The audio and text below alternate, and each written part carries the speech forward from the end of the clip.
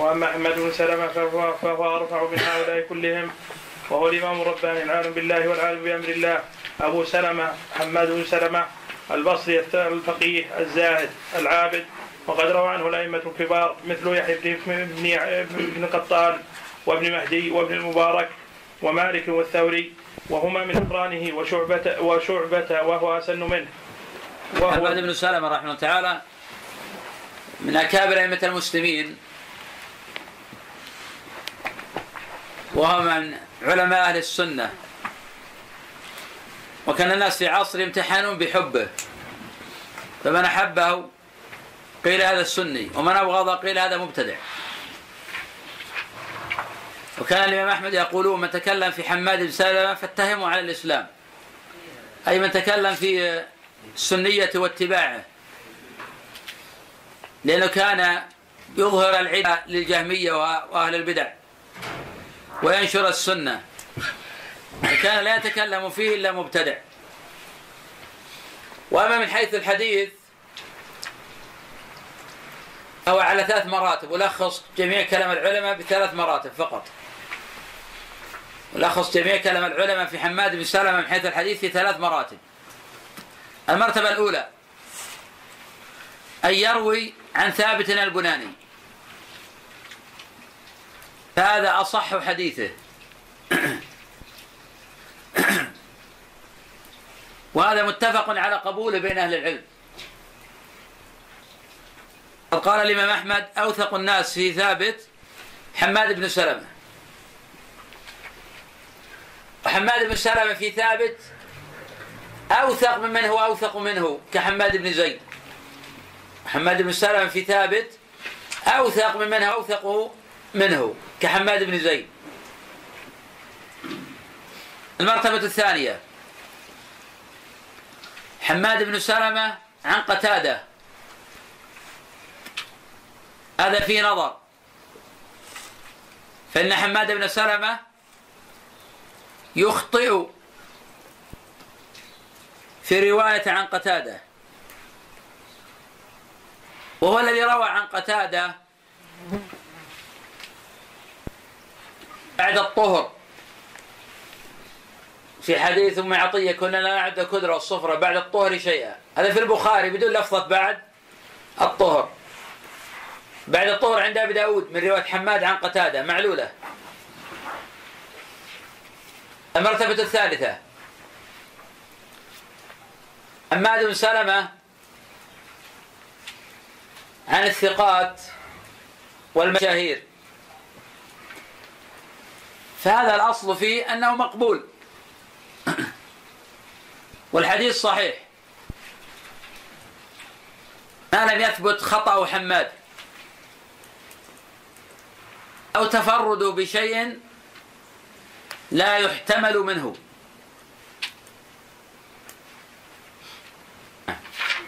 بالنسبة لكلام محمد بن سلمة إذا كتب فيه من يقوم بالدين مثلا من المجاهدين أو كذا ولا يتهم في إسلامه. نعم يتهم. نعم إذا كان من الرجل هذا من المتفق عليه على قدره وجلالته يقوم بالدين وحد يتكلم فيه فهذا ما يتكلم فيه إلا مرض في قلبه ولا لماذا يتكلم فيه. إذا كان يعيبه ببخل أو شيء هذه أمور دنيوية. أما يعيبه في دينه فهو لا يتكلم فيه إلا لدينه وعقيدته وثباته. إذا كان الأوائل يطعنوا فيما يتكلم في أئمة أهل السنة ويتهمون في دينه كما طعن فيما يتكلم في أحمد طعن في يتكلم في الشافعي طعن في يتكلم محمد بن سلمة لأن هؤلاء كانوا يقومون بالدين. طيب بالنسبة للطهر الطهر ما تأخذ نفس الحكم يعني بالنسبة لها؟ لا حتى الفقه مسألة أخرى. إحنا في ناحية حديثية الآن التعليل وعلل وهو ثقة ثقة. من أصلب الناس في السنة ولذلك قال ابن معين من ذكره بسوء فاتهمه على فاتهمه على الإسلام وأثنى عليه الأئمة ثناء عظيما. وفصل القول في وفصل القول في رواياته أنه من أثبت الناس في بعض شيوخه. الذين لزمهم كثابت البناني وعلي بن زيد. علي بن زيد أصلا ضعيف هذا ولكن نذكره علي بن زيد هذا بن جدعان سيء الحفظ. ورواية حماد بن سلمة عنه لا ترفع ضعفه لكن أحسن الروايات عن علي بن زيد وحمد بن سلمة. نعم. ويضطرب في بعض الذي في بعضهم الذين لم يكثر يكثر ملازمتهم كما لم يكثر ملازمتهم. كقدادة, وأيوب وغيرهما. وسأذكر ذلك مستوفى فيما بعد إن شاء الله تعالى. وقد خرج له المسلم الكثير في صحيحه واستشهد به البخاري وقيل أنه خرج له حديثا واحدا في الرقاق.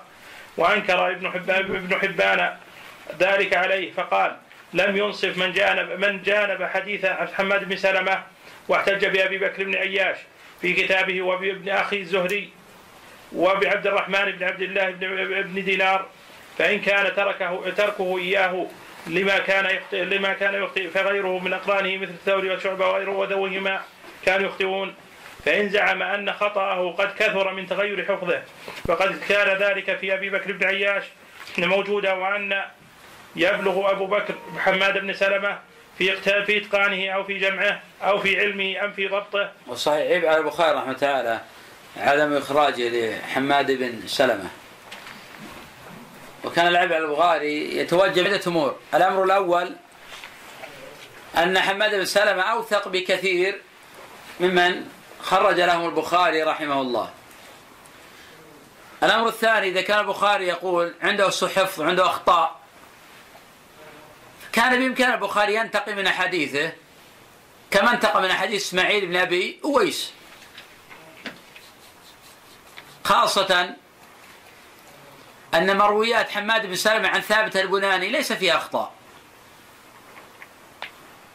وأوثق الناس في ثابت البناني هو حماد بن سلمة. فكان بإمكان البخاري يخرج مرويات حماد عن ثابت. كما أن البخاري رحمه الله تعالى انتقى لبعض الرواة على ضعف فيهم.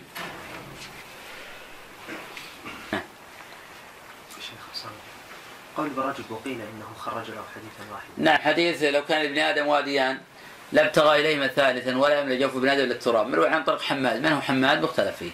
قال حماد بن زيد قال حماد بن سلام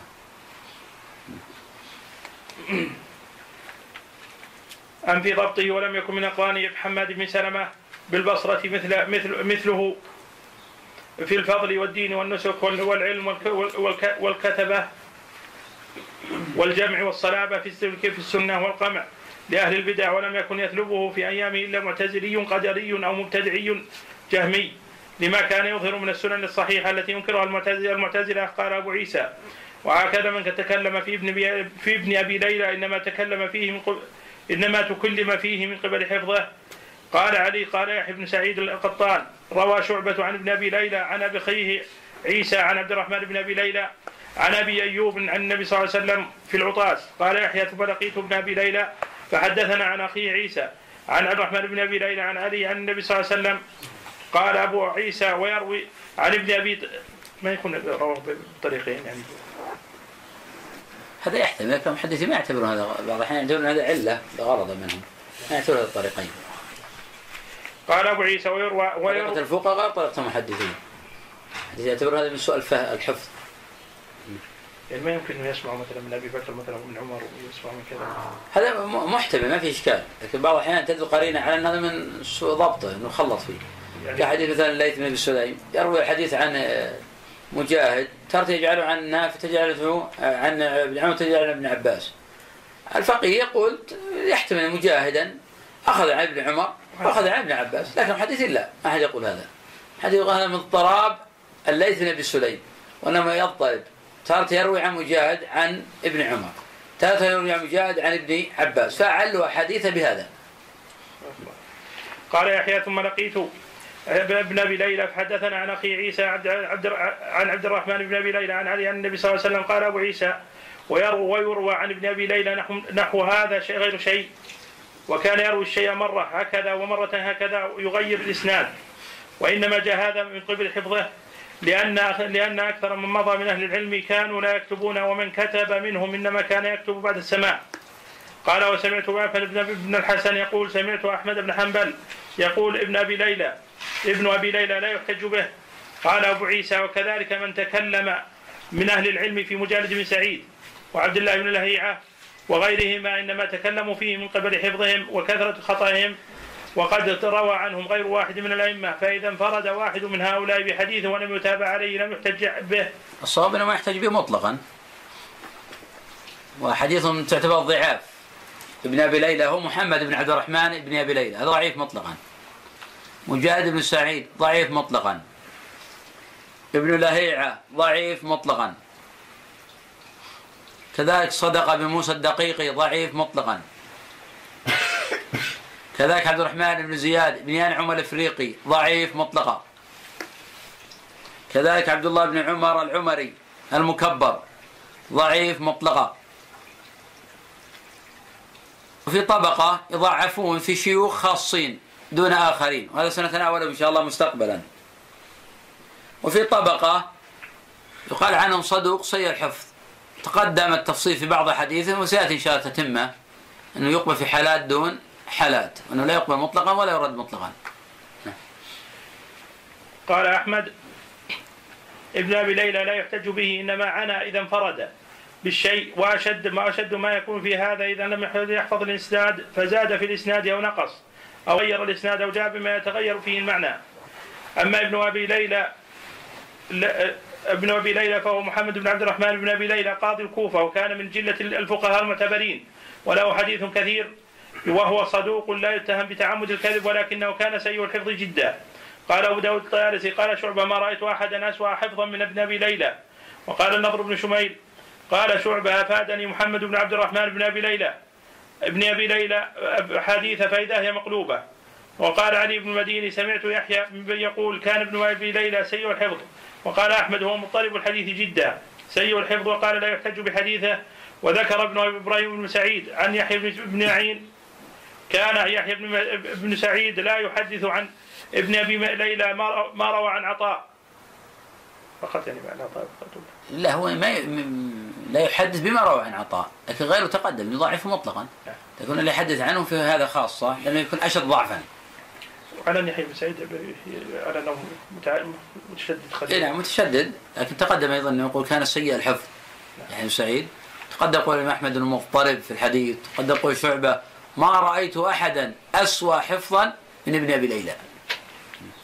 قال ابن معين ابن أبي ليلى ضعيف بروايته قال إبراهيم وكان أحمد بن حنبل لا يحدث عنه. وقال أحمد بن حفص السعدي عن ابي عن أحمد بن حنبل عن ابن أبي ليلى ضعيف وعن عطاء اكثره أكثره خطأ. وقال العجلي كان صدوقا جائز جائز الحديث. وأما حديث العطاس العطاس العطاس الذي ذكره الترمذي جائز الحديث يحمل على المتابعات والشواهد.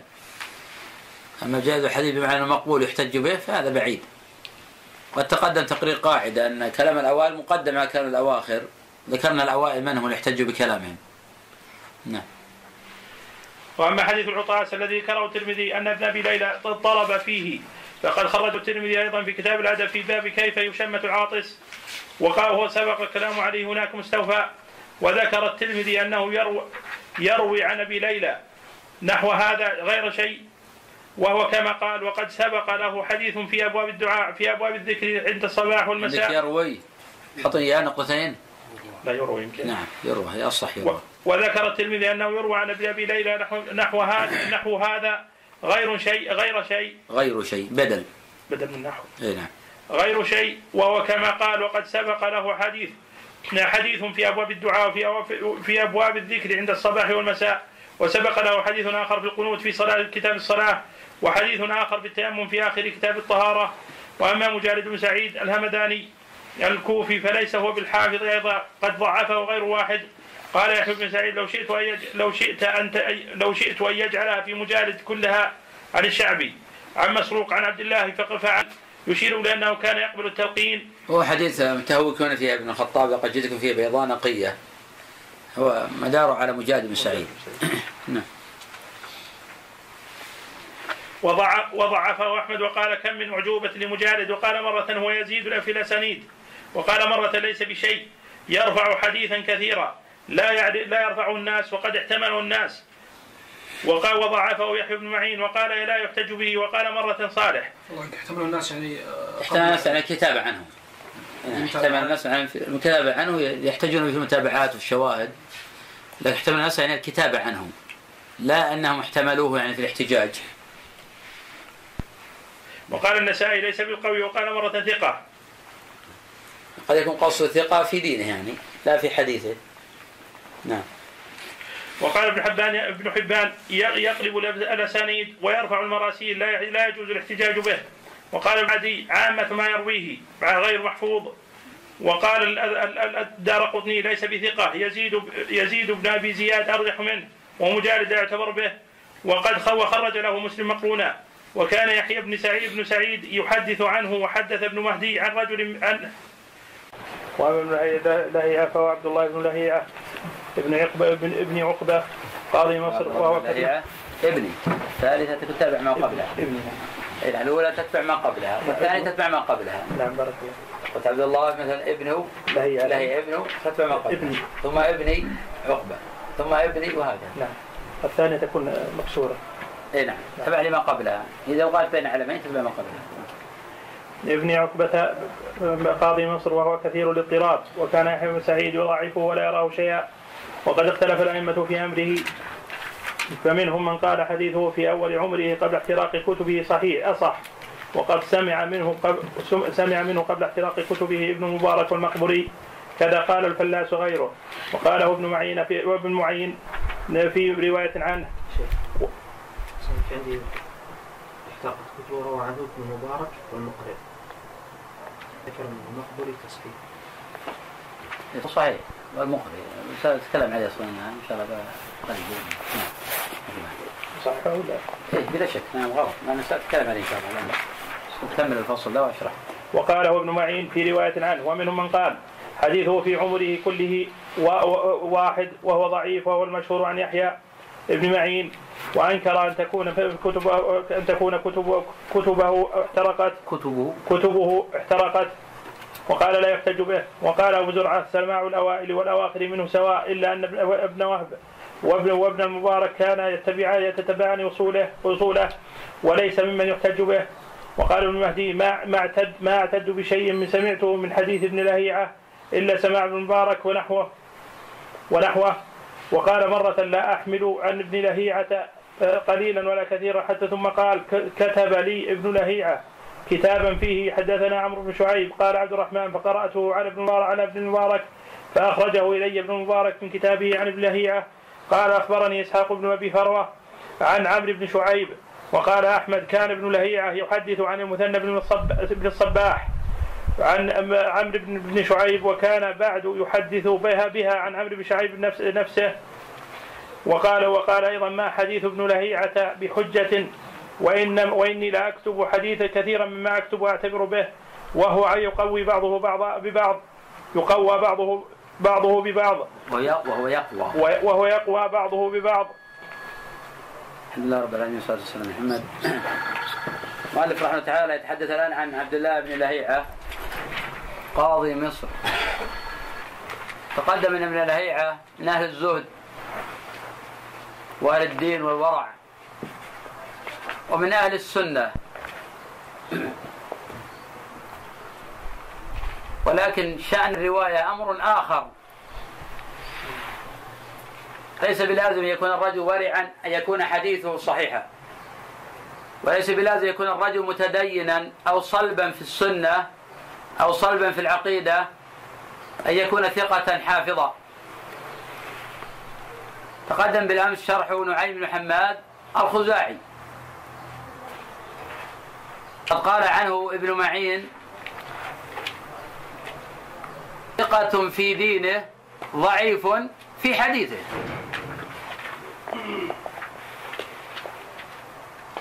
قدم أن الإمام مالك بن أنس رحمه الله روى عن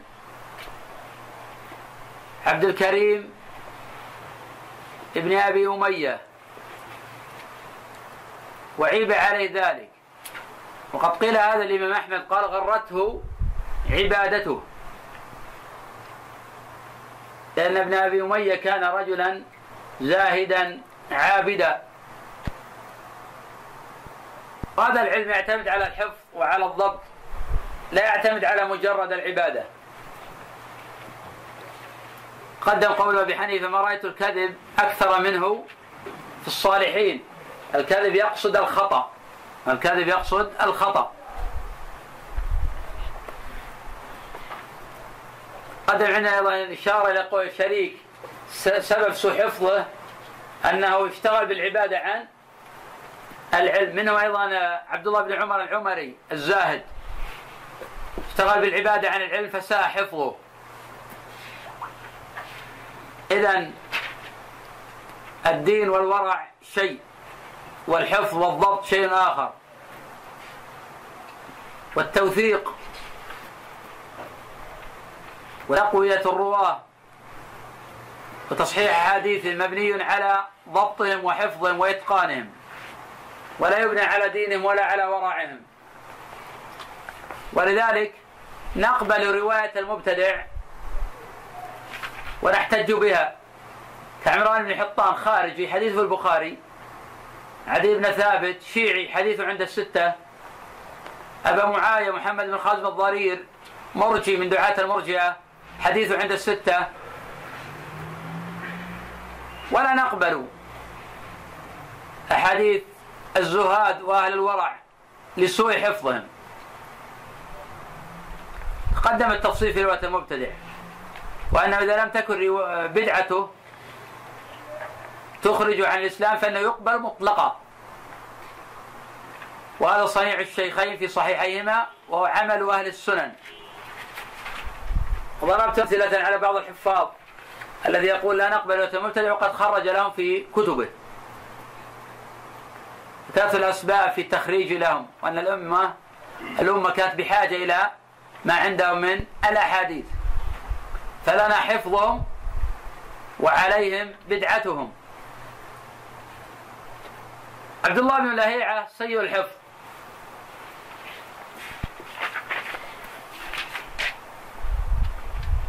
وقد ذكرت بالأمس جانبين لمعرفة سوء الحفظ. ما هما؟ لا. جاي كيف نتعرف على انها سيء الحفظ؟ هل مجرد أن نقرأ في كتب العلماء أو ماذا؟ دراسة مرويات. الأمر الأول؟ دراسة مرويات. لا لو نعم دراسة مروياته هذا الأمر الأول. بمعنى لابد أن ندرس المرويات. والأمر الثاني؟ دراسة نعم قراءة كلام الأئمة حوله. قلت أن الكثير من الناس اليوم يقرأ في كتب العلماء لتصحيحه أو توثيقه أو تضعيفه ويقتصر على ذلك. وهذا لا يليق بالذي يريد الاجتهاد إنما يليق هذا بالعامي الذي يهدف من وراء ذلك إلى التقليد. أما العالم فلا يكفي هذا لا بد أن يدرس المرويات. فإن بعض الرواة حين تقرأ كلام العلماء عنهم قد توثقهم لما يذكرونه عنهم وحين تدرس أحاديثهم ترى الاضطراب ظاهرا عليهم. وترى الضعف ظاهرا. فعلى هذا فابن لهيعة حين ننظر إلى كلام الأئمة نرى للعلماء فيه ثلاثة أقوال. القول الأول أنه مقبول وحديثه حسن. قد قد قال به قلة من العلماء وذهب إلى هذا من المتأخرين ابن كثير فإنه يرى حسن حديثه. والقول الثاني فيه أنه يقبل في رواية القدماء عنه من أصحابه. ومنهم من قيد ذلك بالعبادلة الثلاثة وهم عبد الله بن يزيد المقري والذي ورد ورد قبل قليل في تصحيف عندكم المقبري صوابه المقري لا المقبري. والثاني عبد الله بن المبارك. والثالث عبد الله بن وهب.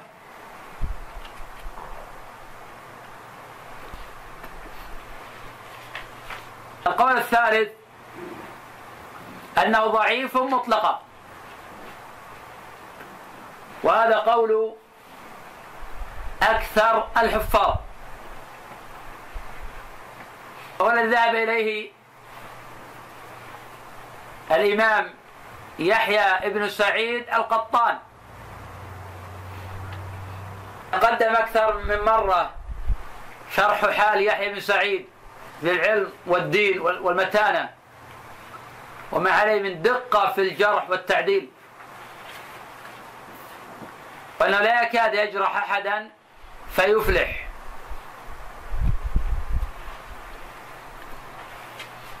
قدم مناقشته في بعض من جرحهم كمحمد بن عجلان وابن إسحاق والحديث عن هؤلاء. وهذا قول أبي زرعة وأبي حاتم وآخرين. والمشهور عن الإمام أحمد.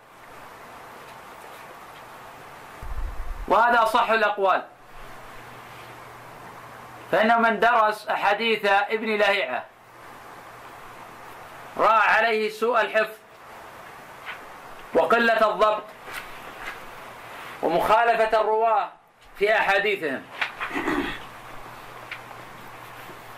ويروي عن عمرو بن شعيب وقد أخذها من المثنى بن الصباح ومثنى بن الصباح ضعيف الحديث. ويروي عن عمرو بن شعيب وقد أخذ من إسحاق بن أبي فروة وهو متروك الحديث. فهذا يعني أيضا أنه يدلس. هذا يعني أيضا أنه يدلس. ما هو القول في حديث المدلس؟ أنه إذا كانت يكثر عليه التدليس فهو يترك إذا كان الغالب عليه التدليس فليترك نعم. وإذا لم يكن التدليس عليه غالبا؟ ينتقل من حديثه. نعم. ينتقل من حديثه. طب الأصل في ما هو؟ الأصل؟ الأصل أنه مدلس. أغلب أغلب الأئمة كانوا مدلسين سفيان و أغلبهم كانوا طيب ما هو حال المدلس؟ نقول يقبل أو يرد؟ ما يطرد رد مطلقا إلا إذا كان غالب عليه. طيب إذا كان غالب عليه صحيح أنا. وإذا لم يكن التدليس غالبا عليه؟ هو ينظر الحديث. شيخنا إذا عن عنا لا يقبل حديثه وإذا قال حدثنا يقبل حديثه. هذا هذا كلام متأخرين هذا هذا كلام متأخرين إحنا نبدي نشرح على صور متقدمين لكن جيد حتى ننبه. تفضل. يقبل حديث مطلقا يا شيخ. ما لم يكون يكون مكثرا من التدليس. غالبا عليه أيضا. مكثرا وغالبا عليه. أو غالبا ابن جريج مكثر ولا يرد حديثه لأنه لم يكن التدليس غالبا إيه. عليه. كذلك أبو الزبير وغيره. نعم. اذكر لنا خمسة من المدلسين. مصيب بتدليس بن جريج ابن جريج. وابن الزبير المكي. الزبير المكي. و ثلاثة يروي عنهم شعبة. عامر العامر. الأعمش. قتادة. قتادة. أبو إسحاق السبيعي. لا يروي عن ثلاثة يروي عنهم شعبة. نعم. وقال أحد وقال أيضا ما ما حديث ابن ابن لهيعة. ما حديث ابن لهيعة. بحجة وإني لا أكتب كثيرا مما أكتب مما أكتب وأعتبر به وهو يقوي بعض وهو يقوى بعضه ببعض. وروي عن أحمد أنه قال سماع العبادلة من ابن من ابن لهيعة عندي صالح عبد الله بن وهب وعبد الله بن يزيد المقري وعبد الله بن بن المبارك وقال الجوزجاني وإذا الصالح ما تعني الصحة؟ قال الإمام الصالح لا تعني الصحة. وإنما تعني أن رواية هؤلاء العبادلة عن ابن لهيعة أعدل وأحسن وأصلح من غيرها. وهذا نظير أن تقول هذا أصح شيء في الباب. لا يعني أنه صحيح.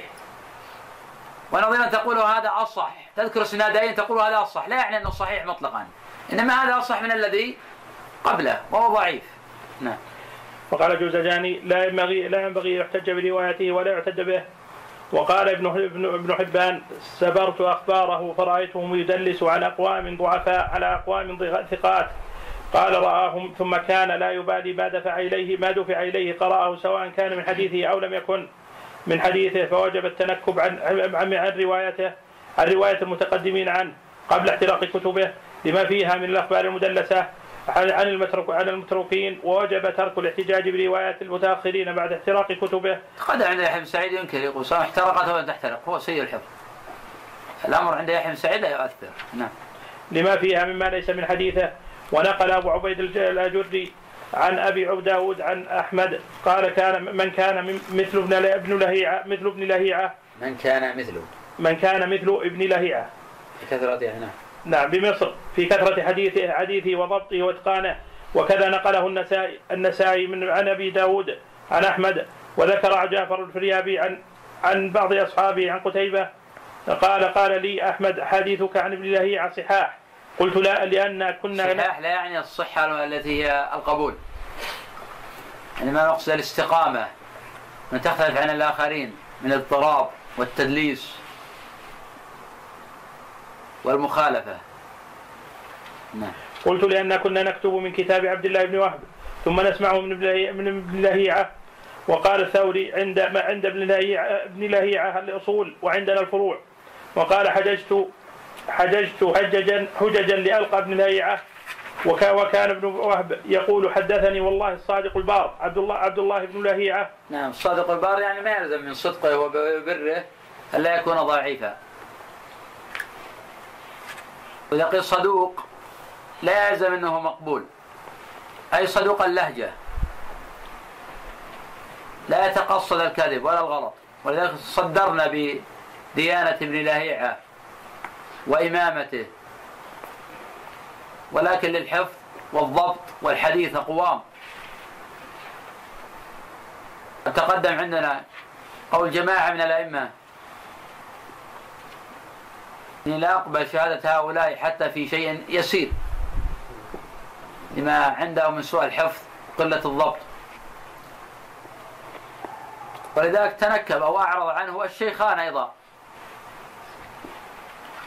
قد خرج له البخاري مقرونا دون أن يذكر اسمه. خرج له مسلم في غير الأصول. فلو كان ثقة لخرج له شيئا. قد قيل للإمام أحمد تضاعف ابن لهيعة وتكتب حديثه. قال أكتبه لأعتبر به. هذا صريح أنه لا يكتب حديثا للاحتجاج. وقبول رواية العبادلة عنه غلط. رواية العبادة عن لهيعة ضعيفة كغيرها. من تأمل حديث ابن لهيعة حتى عن العبادلة رأى فيها نكارة. فمن ذلك من رواة القدماء عن ابن لهيعة حديث عبد الله بن عمرو بن العاص حين رأى في المنام. إنه يعلق عسلا. قال تقرأ الكتابين. وهذا معلول. وهو من رواية القدماء من أصحاب ابن لهيعة. نعم. وأثنى عليه أحمد بن بن صالح المصري وقال هو صحيح الكتاب فمن ضبط عنه من إملائه من كتابه. فحديثه صحيح. نعم حديث صحيح بمعنى إنه ما خلط ولا دلس لكن هو ضعيف في نفسه. مثل نعيم محمد الخزاعي صاحب آه، هو يعني يروي في الكتاب الفتن. نعلم في هذا الكتاب أنه رواه ما في إشكال عندنا. لكن هو في ذاته ضعيف. وإذا إذا كان كتبه من الشيخ. حتى لو كتب من الشيخ هو ضعيف أصلا. هو أنت ضعيف. كيف لو وثقنا فيك في نقلك وضبطك قد يكتب ويخطئ. لسوء حفظه. حديثه صحيح. وقال وأنا أذهب إلى أنه لا يترك حديثه نعم ولذلك شوف فرق. الآن يقول إذا حد مما كتبه فصحة حديثه. ثم قال أنا أذهب إلى أنه يكتب حديثه ولا يترك. لأنه لا يذهب إلى المذهب الذي يظن أن هذا يصححه أو يقبله. كما كان يقول أبو حاتم بكثرة يكتب حديث ولا يحتج به. يكتب حديث ولا يحتج به. هذا كثير في كلام أبي حاتم. وأنا أذهب إلى أنه لا يترك حديث محدث حتى يجتمع حتى يجتمع أهل مصر على ترك حديثه؟ قال ابن عدي وهو حسن الحديث. طيب آه، آه، ليس من الأقوال أنه ضعيف مطلقا. إلا بس هذا يبقى أنه ابن عدي قلنا من المتأخرين لكن تقدم من ضعفه مطلقا وهم الأكابر.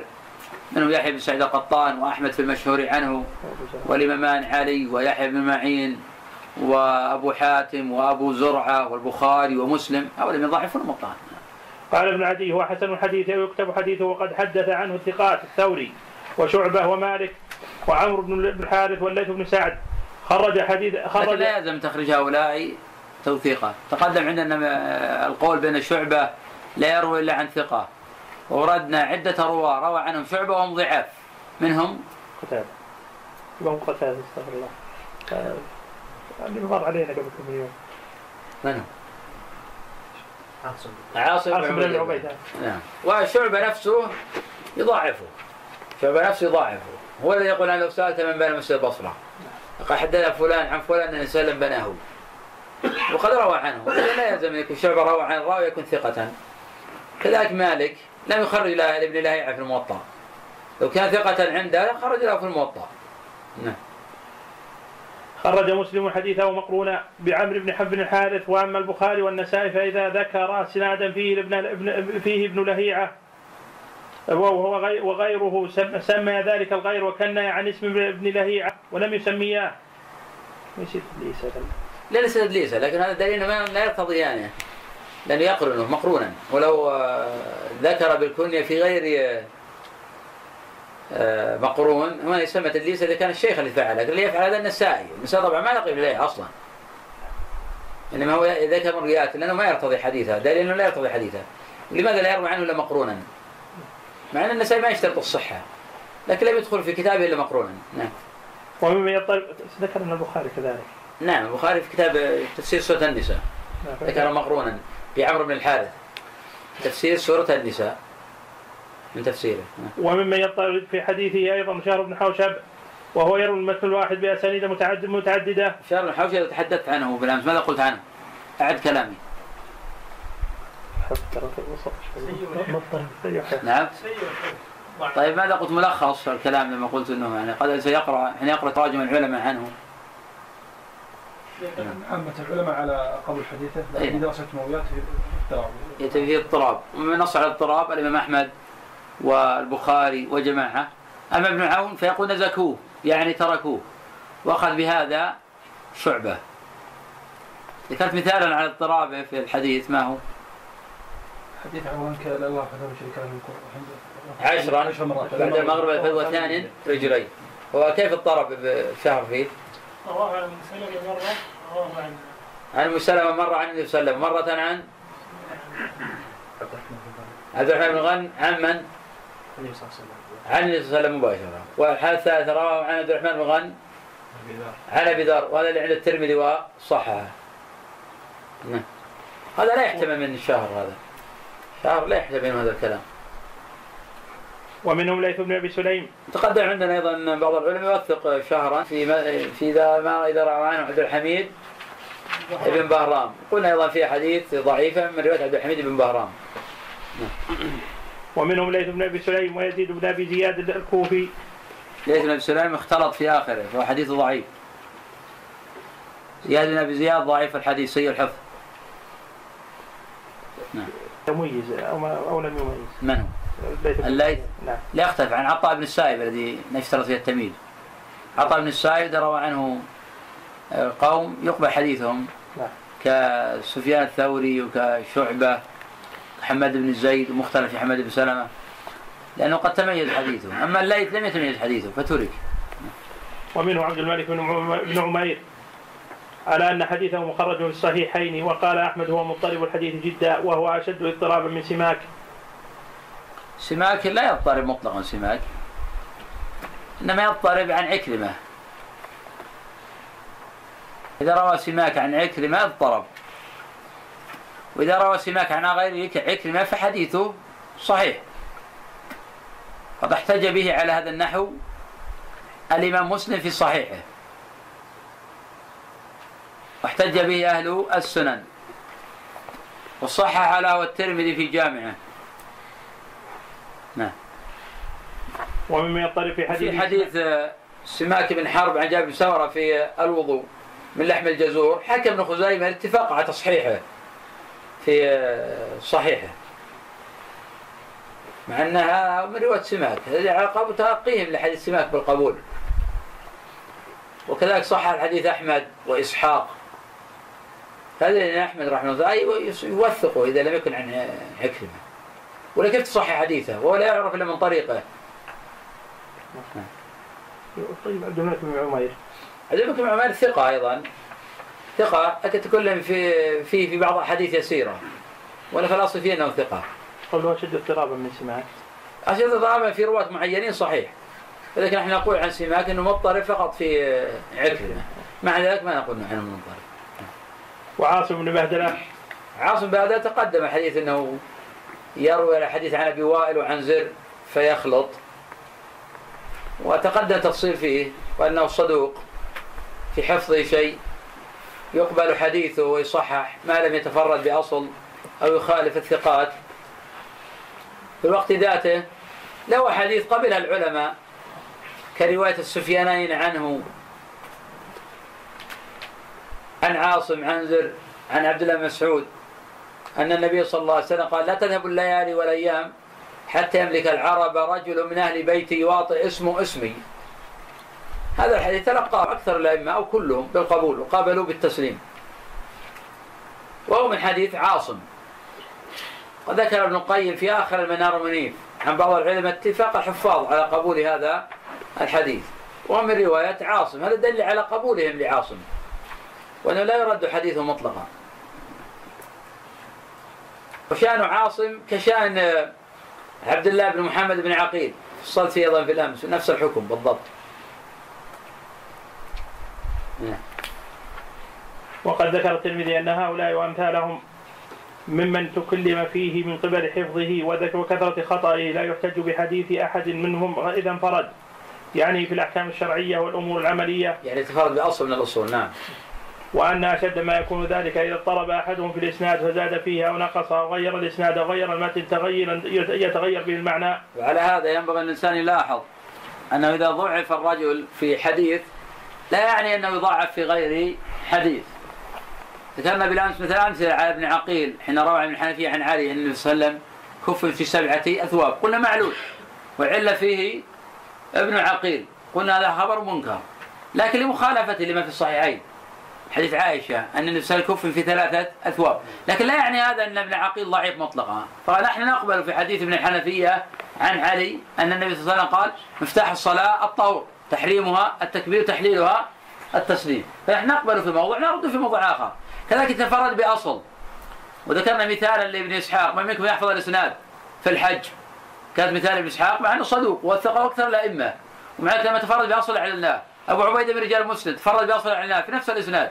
يمكن أذكر الإسناد في الحج. ذكرته أمس وقبل الأمس وأكثر من مرة.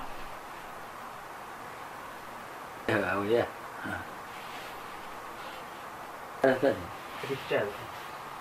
حديث أم سلمة. إن هذا يوم رخص لكم فيه. إذا رميتم يوم العقد تحلوا. إذا غرقتم في ان تطوب عدتم كرما حرما كما بدأتم. اسناده من طريق محمد بن إسحاق. عن أبي عبيدة بن عبد الله بن زمعة. عن أبيه وعن أمه. عن امي سلمة. عن النبي صلى الله عليه وسلم به. هذا رجال لا بأس بهم. ولكنه معلول. لا يقبل تفرد ابن إسحاق في مثل هذا. هذه علة أولى. العلة الثانية لا يقبل تفرد بعبيدة في مثل هذا. نعم. هذا لأنه منقطع. فقط أي نعم. حسن البصري عن منقطع مطلقا. نعم. غفر الله لك شيخ. ذكرت رواية المبتدع. أنهم يقبلون رواية الشيعي. أولا هل يقصد بالشيعي هو التشيع المتقدم اللي هو تقديم علي على أبي بكر وعمر؟ أما التشيع المتأخر. لا لا أقصد التشيع المتقدم وأنا بنى عليه أكثر من مرة وشرحنا للإخوان. التشيع عند الأوائل هو تفضيل علي على عثمان فقط. أما الحط من قدر الشيخين أو الطعن في أبي بكر وعمر فهذا يسمى رفضا. وهذا لا نعمة له ولا كرامة. وكان السلف لا يخرجون لهذا الضرب أبدا. ما يخرجون للذي يطعن في أبي بكر وعمر فضلا عن المتأخرين من المشركين والوثنيين. والذي يكذبون بالقرآن ونحو ذلك. هؤلاء لا يقبل حديثهم أصلا. استكمال السؤال. اشترطوا أن يكون أن لا يكون المبتدع قد روى ما بدعته. لا داعيا إلى بدعته. هل تؤيد هذا لا. قلنا أنه ضعيف بدليل أنه قد خرج الشيخان وأهل السنن لعدد كبير من الدعاة إلى بدعة. منهم أبو معاوية محمد بن خالد الضرير خرج له الستة ومن الدعاة إلى مذهب المرجئة. ومثال ذلك حديث رواه ابن حديث واحد رواه ابن لهيعة فزاد في إسناده على الناس. ورواه أيضا بغير الإسناد الذي رواه به الناس. ورواه بمعنى غير غير معنى حديث الناس. روى الليث بن سعد بن سعد وعمرو بن الحارث وعبد الحميد وعبد الحميد بن ابن جعفر كلهم عن يزيد بن أبي حبيب عن عبد الله بن ابن الحارث بن جزء قال أنا أول من سمع رسول النبي صلى الله عليه وسلم جزء ابن جزء ابن جزء قال أنا أول من سمع النبي صلى الله عليه وسلم يقول لا يبولن أحدكم مستقبل القبله وأنا أول من حدث الناس بذلك. وفي رواية الليث بن سعد وغيره عن يزيد بن أبي حبيب أنه قال أنه سمع عبد الله بن الحارث يقول يذكره ورواه ابن لهيعة عن يزيد بن أبي حبيب عن جبلة بن نافع عن عبد الله بن ابن الحارث بن جز فزاد في إسناده رجلا.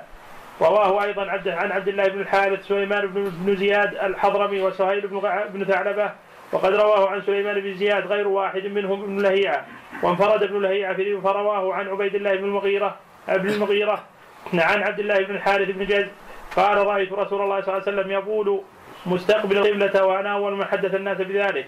وهذا اللفظ خطأ. تقبل القبلة. مستقبل القبلة وأنا أول من حدث الناس بذلك. وهذا اللفظ خطأ. تفرد به ابن لهيعة وخالف رواية الناس كلهم.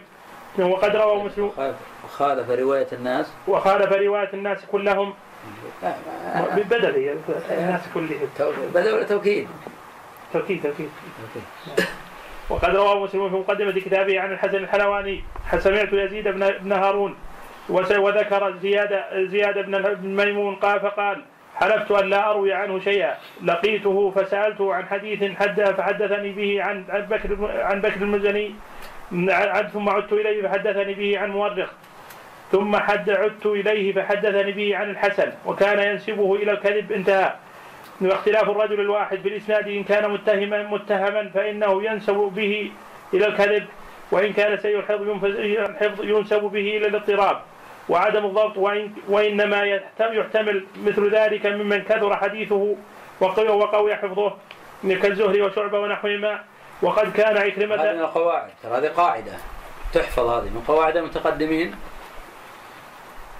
إنهم لا يقبلون الاختلاف. ممن لم تكثر أحاديثه ولم يعرف بقوة الضبط. يغترف يغتفرون الاختلاف للحافظ الم- المتقن المكثر. يجب إعمال هذه القواعد في التصحيح والتضعيف. وهي من القواعد المهمة عند الأوائل. وذاك الأواخر حين كانوا لا يفهمون كلام الأوائل يقول صححه في موضع وضعفه في موضع آخر. يريدون به أنه تناقض. هو ما تناقض وإنما أنت جاهل. يقصدون تصحيحه في موضع لأنه يستحق التصحيح لعدم تفرده أو لعدم كون الحديث أصلا أو لغير ذلك. في موضع آخر ضعفوه لأنه قد تفرد بأصل أو اختلف عليه في موطن لا يحتمل منه التفرد ولا يحتمل من هذا الاختلاف. وذكرت لكم نماذج كثيرة في الحقيقة في ترجمة عاصم بن من النجود وعبد الله بن محمد بن عقيل. وامثال هؤلاء قيل عنه إنهم صدوق سيء الحفظ. انه يقبل في مواضع يرد في مواضع. وليس معنى رده في موضع أنه يقبل في الموضع الآخر والعكس لا. وعلى هذا يزول الإشكال اللي يورده بعض الناس يقول تقولون أجمع العلماء على صحة ما في الصحيحين. وفي رجال تكلم فيهم. فجوابه أن المتكلم فيه لا ينفي الإجماع على صحة حديثه. أبدا لأنها إذا عرفت هذه القواعد. لأن القدر الذي يجمع على حديثه ثبت أنه قد ضبطه ولا يعني توثيقه في جانب آخر. ولهذا لا يعني وجود الراوي في الصحيحين أن يكون ثقة خارج الصحيحين بدليل أن البخاري لقي إسماعيل بن أبي أويس فقال أخرج لي أصولك. فأخرج له. فقال أعلم لي على ما سمعت. فأعلم له. فأخذ البخاري هذه الأحاديث وأعرض عما سواها. هذا دليل الأئمة يتتبعون حديث الراوي. من ذاك أبو معاوية محمد بن خازم الضرير. هذا الثقة في حديثه عن الأعمش فقط. أما في حديثه عن غير الأعمش في كلام. ولذلك لم يخرج له البخاري شيئا أبدا في الأصول عن غير الأعمش. ومن ذاك همام بن يحيى ثقة ثبت من رجال الستة. حديثه عن ابن جريج مع- معلول. ومن ذلك عكرمة بن عمار ثقة. حديثه عن يحيى بن أبي كثير مضطرب. ومن ذلك داود بن الحصين ثقة. حديث عن عكرمة ضعيف. فهذا له نماذج كثيرة تعرف بالتتبع والقراءة والنظر في كلام الأوائل. فتوثيق الراوي في موضع ليس تناقضا أن تصحح حديثا في موضع آخر. هذا له حالة وهذا له حالة أخرى. إنما التناقض أن يكون شخص مثلا يقول ابن لهيعة ضعيف مطلقا ثم في موضع آخر صحيح له هذا تناقض.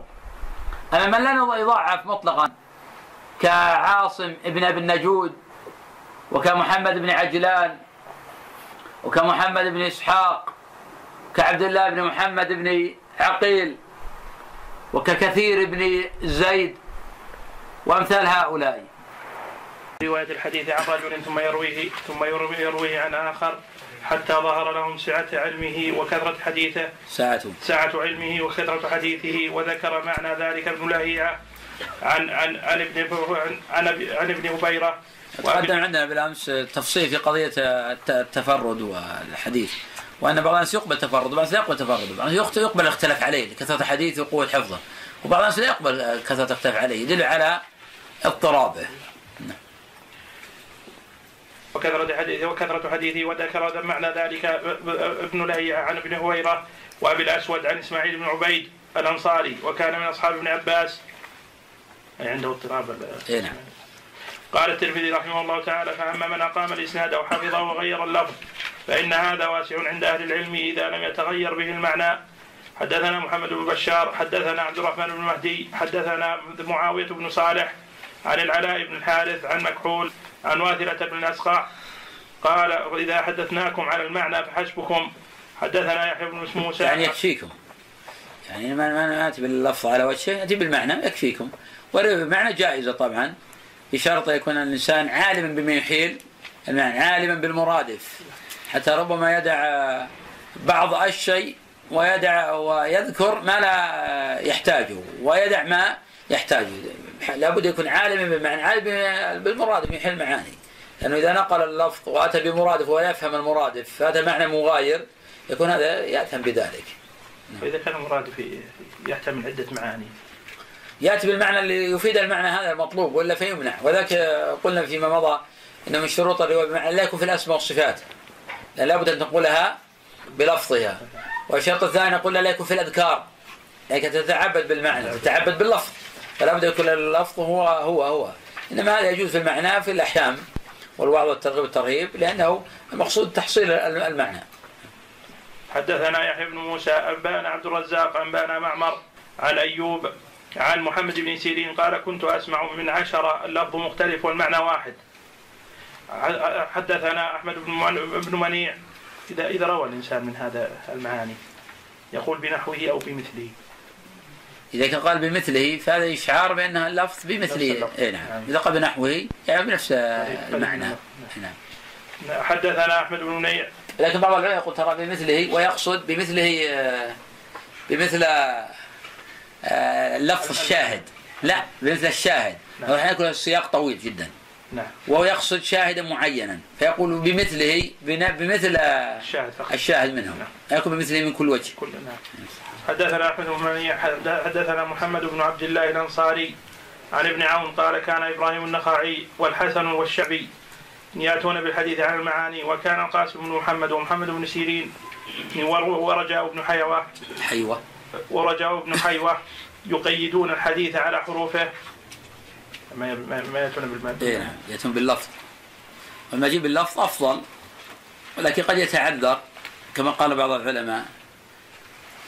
لو نأتي بالمعنى ما حدثناكم يقول ولولا نأتي بالمعنى ما حدثناكم. بمعنى لا نستطيع إقامة اللفظ على وجهه. أما ما يشتهر الآن عند الناس يقول إن البخاري يروي بمعنى مسلم يروي باللفظ هذا غير صحيح هذا. البخاري يروي بما روي له. روي له. وغير صحيح أن البخاري هو اللي يغير. وهذا اشتهر الآن؟ استفاض في كتب المصطلح على المتأخرين. وأنه يقول من مفضلات ومميزات مسلم على البخاري ان مسلما يروي باللفظ. والبخاري هذا غير صحيح هذا. هذا لا أصل له. البخاري يروي لكن البخاري قطع الحديث في أكثر من موطن ومسلم لا لا يفعل هذا. لأن البخاري يعتمد على الفقه. فقه البخاري في تراجمه. لكن البخاري يروي بما حدث به لا يغير شيئا أبدا. ولا لا يزيد ولا ينقص ولا يروي بالمرادف ولا بالمعنى ويروي باللفظ الذي نقل له. فما يشتع الناس أن البخاري يروي المعنى هذا غير صحيح. مسلم نفس الشيء. حين بتنظر الفاظ مسلم والفاظ البخاري بعدين تجد الفاظ البخاري أكمل. وبعدين تجد الفاظ مسلم أكمل. لا لأن مسلما أحسن سياقا من البخاري كما يفعل بعض الناس يقول أن سياقات مسلم أفضل من سياقات البخاري هذا غير صحيح أيضا. ليس بصحيح أن سياقات مسلم أفضل من سياقات البخاري. بل سياقات البخاري أفضل بكثير. كما أن رجال البخاري أقوى من رجال مسلم بكثير. والفضل البخاري أدق. فضل مسلم بعض الأحيان يمكن فيه شذوذ. ثانيا البخاري رحمه تعالى يقسم الحديث في أكثر من موضع. بين مسلم يروي في الموضع الواحد ويذكر الأول هو اللي في الأصل عادة. الثاني قد يكون معلولا الثالث. كان في كثير من الروايات. ثم يقول رواه مسلم. وهذا كثير في الحقيقة وردنا قبل أيام. عدة أشياء من ذلك آه، إذا جلس بين الشعب مرة ثم جادها فقد وجد وإن لم ينزل. هذه مسلم ما ذكرها في الأصول أصلا. فهي شاذة. يذكر رواه مسلم الآن. مسلم ما رواه في الأصول أصلا. ومن ذلك حديث عائشة وغسل رجليه في غسل جنابه وهذه رواية شاذة. على مسلم نفسه العجيب تذكر الآن عندنا عند مسلم ومسلم نفسه علل اللفظة أفننقض لغسل الجنابة والحيضة؟ لفظة الحيضة شاذة. وجنبوه السواد شاذة. ولم يذكر مسلم أيضا في الأصول هذه. إنما ذكر في باب المتابعات وباب آه، الشواهد. من ذلك اسمع واطع ضرب ظهرك واخذ مالك. هذا مسلم ذكر في باب متابعة الشاهد ما ذكر في الأصول. ومع أنه ما ذكر في الأصول هو معلول أيضا. سواء ولا ذكر في الأصول لا أعلناه. لأنه منقطع. من رواية أبي سلام ممطور عن حذيفة وأبو سلام ممطور لم يسمع من حذيفة. وغير ذلك من الأشياء التي الناس يقولوا هذا سياق مسلم. سياق مسلم أصلا ما ذكر في الأصول ذكر في المتابعة الشواهد. لكن ينبغي التنبه بين ما يذكر عن مسلم في الأصول وبين ما يذكر عنه في المتابعات والشواهد. نعم. والذي يقول إن البخاري حينما يأتي بالطريقين المراد اللفظ للطريق الأول فقط. لا ليس هذا بالصحيح البخاري يقسم الحديث مواضع يذكر بعض الاحيان بطوله. البخاري مع تقسيم الحديث يأتي موضع من المواضع يذكر بطوله. يذكر بطوله. ثم بعد ذلك ينتقل منه ما يحتاج في الفقه. لأن البخاري يركز على الجوانب الفقهية. حدثنا علي بن خشرم حدثنا حفص بن غياث عن العاصم الأحول قال قلت لأبي عثمان النهدي إنك تحدثنا بالحديث ثم تحدثنا به على غير ما حدثتنا. قال عليك بالسماع الأول. قال حدثنا الجارود بن معاذ حدثنا وكيع بن وكيع عن عن الربيع بن صبيح. صبيح. عن الربيع بن صبيح. عن الحسن قال إذا أصبت المعنى أجزاك. حدثنا علي بن حجر أنبانا بن مبارك عن سيف هو هو ابن سليمان. قال سمعت مجاهدا يقول أنقص أنقص أنقص من هذا الحديث إن شئت ولا تزد فيه. حدثنا أبو عمار الحسين بن حريث. لأن النقص يجب أن يتممه لكن الزيادة كذب. هذا يعني وجه ذلك. ولكن ذكرنا فيما مضى أن حتى النقص في تفصيل لأن قد ينقص آه، من المعنى ما يخل بالمعنى. مثل بعض الناس ما يفهم يحذف ربما المستثنى يبقي المستثنى منه فيختل المعنى حينئذ. فيختل المعنى. لا بد تذكر هذا مع هذا. شويل المصلين. نعم. شويل المصلين. إي نعم. كقضية اللي يذكر بالمعنى ذكرنا لكم أمثلة في الأسماء والصفات. حين ذكر بعضهم حديث لخلف فم الصائم أطيب عند الله من ريح المسك. طبعا في استطابة روى بالمعنى فأتى بإثبات الشم لأنه روى بالمعنى. وهكذا. الرواية بالمعنى قد تؤثر لذلك لا, لا نجيز الرواية بالمعنى لا في الأسماء والصفات ولا في مسألة الأذكار أن يخل بالمعنى. حدثنا أبو عمار الحسين بن حريث قال أنبأنا زيد بن زيد بن حارث ابن حباب عن رجل قال خرج إلينا سفيان الثوري فقال إن قلت لكم إني أحدثكم عما كما سمعت فلا تصدقوني إنما هو المعنى. نعم طبعا هنا يقول عن رجل طبعا الرجل هذا مبهم. هذا رجل مبهم. وحديث المبهم ضعيف الأصل في حديث المبهم ضعيف. ما لم يأتي في رواية أخرى تسمية المبهم يكون الطريق صحيحا. نعم. حدثنا الحسين بن حريث قال سمعت وكيعا يقول إن لم يكن المعنى واسعا فقد هلك الناس. نعم. حديث واثلة بن الأسقع. ابن الأسقع الموقوف ذكره البخاري بتاريخه وذكر أن أبا نعيم النخعي رواه عن العلاء ابن كثير أن أبا نعيم والنخعي رواياه عندك رواه رواه نعم. عندك أعلى اللفظ؟ حديث لا واثلة بن الأسقع الموقوف. ذكره البخاري في تاريخه وذكر أن أبا نعيم النخعي رواه عن العلاء. أبا نعيم النخعي نعم. رواه عن العلاء بن كثير عن مكحول عن واثلة بن أسقع عن واثلة مرفوعة قال ولا يصح. والعلاء بن كثير منكر الحديث مقصود الترمذي بهذا الفصل الذي ذكره هنا أن من أقام الإسناد وحفظها وغير المتون تغييرا لا يغير المعنى أنه حافظ ثقة يعتبر بحديثه. وبنى ذلك على أن رواية المعنى الحديث بالم... أن رواية الحديث بالمعنى جائزة وحكاه عن أهل العلم وكلامه يشعر بأنه إجماع. وليس كذلك بل هو قول كثير من العلماء ونص عليه أحمد وقال ما زال الحفاظ يحدثون بالمعنى. يعني هو قول الجمهور نستطيع ان الرواية بالمعنى هو قول الجمهور. وفي طبقة يمنعون الرواية بالمعنى ويأمرون باللفظ سواء كان لذات الأمر أو سدا للذريعة حتى لا يأتي من لا يفهم فيروي بالمعنى فيخل. الآن الرواية بالمعنى أخف بكثير مما كان عليه الأمر من قبل. من قبل كان عصر تدوين. أما الإنسان حين يروي بالمعنى يمكن الرجوع إلى اللفظ وهو مدون وهو موجود فلا يختل المعنى لكن من قبل عصر تدوين فيختلف الحكم. ومع ذلك الجمهور يجوزونه حتى في عصر التدوين. نعم. بل هو وليس كذلك بل هو قول كثير من العلماء ونص عليه أحمد وقال ما زال الحفاظ يحدثون بالمعنى وإنما يجوز ذلك لمن هو عالم بلغات العرب. بصير بالمعاني عالم بما يحيل المعنى وما لا يحيله. نص على ذلك الشافعي. أمثلة للرواية بالمعنى حالة الحديث عن أصله. وقد روى كثير من الناس الحديث بمعنى فهموه منه وغيروا المعنى مثل ما اختصره بعضهم ما اختصره بعضهم من من حديث عائشة في حيضها بالحج أن النبي صلى الله عليه وسلم قال لها وكانت حائضا انقضي رأسك وامتشطي نعم ومثل ما فعل شعيب بن حمزة جاء من طرق كثيرة أن النبي صلى الله عليه وسلم أكل من كتف شاة ولم يتوضأ. فاختصر شعيب بن حمزة فغلط فيه. جاء عند الأربعة من طريق شعيب بن حمزة عن ابن منكدر عن جابر. قال كان آخر الأمرين ترك الوضوء مما مست النار. وهذا غلط في شعيب. اختصر فوهم فيه ولا ضبط الاختصار. والحديث عند الأربعة معلول. كما بين ذلك الإمام أبو داود في سننه وأبو حاتم في العلل وعله بالاضطراب وابن حبان في صحيحه. تارة الراوي يروي بالمعنى فلا يأتي بالوجه المطلوب يخل.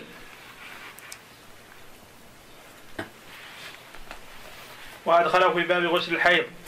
وقد أنكر ذلك على من فعله لأن وقد أنكر ذلك على من فعله لأنه يخل بالمعنى فإن هذا لم تؤمر به في الغسل من من الحيض عند قطاعه بل هو في غسل الحيض إذا أرادت الإحرام وهي حائض وفي غسل الحائض إذا أرادت الإحرام وهي حائض.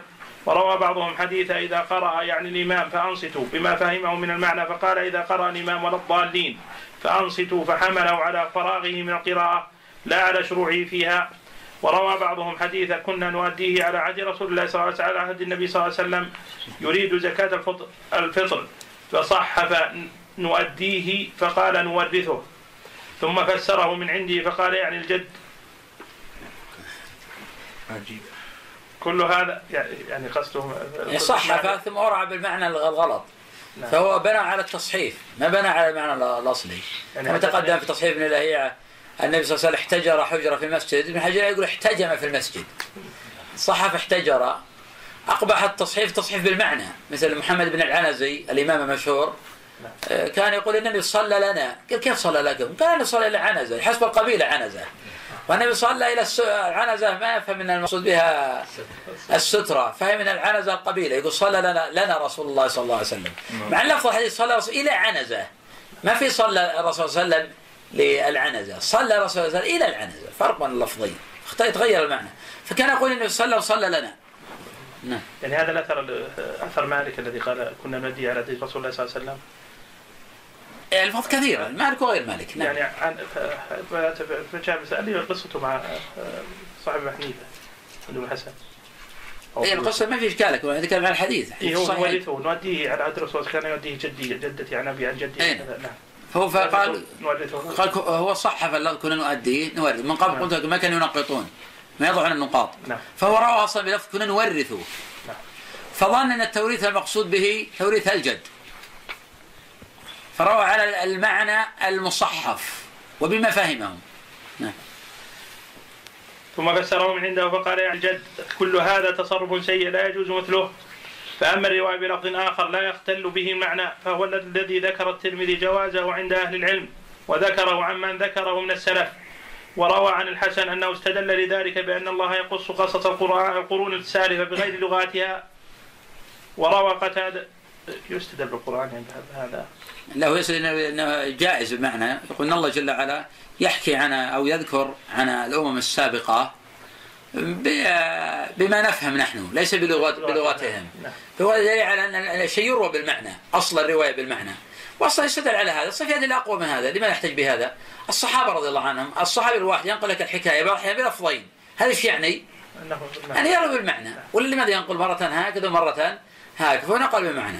لكن بالشروط السابقة يكون عارفا بما يحل عارفا بلغة العرب يكون فاهم المقصود ولا يأتينا الطوام. أنه الدين ورثه احتجر احتجم. صلى إلى عنزة إلى القبيلة. وهكذا من الأشياء والتحريفات. نعم. وروى قتادة عن زرارة بن أوفاء زرارة بن أوفاء قال لقيت عدة من أصحاب رسول الله صلى الله عليه وسلم فاختلفوا علي في اللفظ واختلفوا واجتمعوا في المعنى وقد روى وقد روي إجازة ذلك أيضا عن عائشة وأبي سعيد الخدري وابن وابن عباس وفي أسانيدها نظر. وروى وروي معناه عن ابن مسعود وأبي الدرداء وأنس أنهم كانوا يحدثون عن النبي صلى الله عليه وسلم ثم يقولون أو نحو هذا أو شبهه. هذا من من من الورع ولا؟ من الورع نعم. هذا ثابت عن ابن مسعود السادس الصحيح عند ابن ماجه. إذا سئل عن حديث عن النبي صلى الله عليه وسلم وراغرقت عيناه. وقال ونحو من هذا أو شبيها من, من هذا. حتى لا يقع في ذلك غلط على النبي صلى الله عليه وسلم. قدم أكثر من مرة أن شعبة يرى أن اللحن في الحديث من الكذب على النبي صلى الله عليه وسلم. انك تروي تقول قال النبي صلى الله عليه وسلم. والنبي ما قاله هكذا. قاله آه، معربا. ما قاله ملحونا. واستدل شعبة على التحريم بقوله صلى الله عليه وسلم من حدث عني بحديث آه، لما من حدث عني من قال علي ما لم أقل فليتبوأ من قاله من النار. والنبي ما قال بهذا اللفظ. فلا بد أن ترويه بما لفظ به النبي صلى الله عليه وسلم. هذا من أدلة القائلين بوجوب الرواية باللفظ لا بالمعنى. خاصة وجد أمثلة كثيرة على أن الرواية بالمعنى غلط. غلط. نعم. وقال أنس وكان أنس يقول أو كما قال وهو أيضا قول عمرو بن دون- بن دينار وابن نجي- نجيح وعمرو بن مرة وجعفر بن محمد وحماد بن زيد ويحيى بن سعيد ويزيد بن هارون. وابن عيينة وأبي زرعة وحكى وحكي عن أكثر الفقهاء وروي فيه أحاديث مرفوعة لا يصح منها شيء منها. وكان ابن عمر رضي الله عنه يشدد في اتباع لفظ الحديث وينهى عن تغيير شيء منه. وكذلك محمد بن سيرين والقاسم بن محمد ورجاء بن حيوة. و- ورجاء بن حيوة. وهو قول مالك في حديث النبي صلى الله عليه وسلم خاصة دون غيره دون حديث غيره. وروي عنه أنه قال أستحب هذا ذلك. وح- وحكى الإمام أحمد عن وكيع. أنه كان يحدث عن المعنى وأن ابن مهدي كان يتتبع الألفاظ ويتعاهدها